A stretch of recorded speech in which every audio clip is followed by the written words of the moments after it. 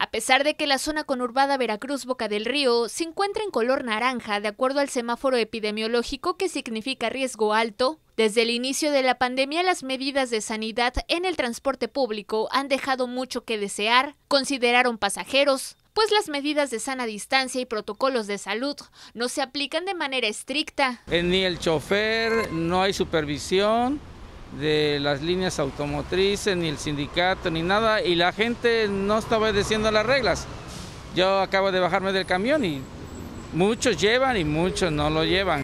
De acuerdo a pasajeros, no se respeta la sana distancia y es común que los usuarios no utilicen mascarilla. Ahorita venía yo sentada junto a otro y venía el carro lleno.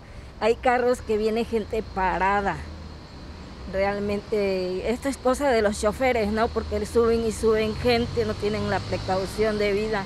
Los ciudadanos responsables que hacen uso de los camiones solicitan operativos en donde se verifiquen las medidas de sanidad, pues consideran que el transporte público es uno de los sitios con mayor riesgo de contagio de COVID-19. Se suba y verifique que en verdad se esté cumpliendo con las normas obligatorias por parte de nuestro gobierno.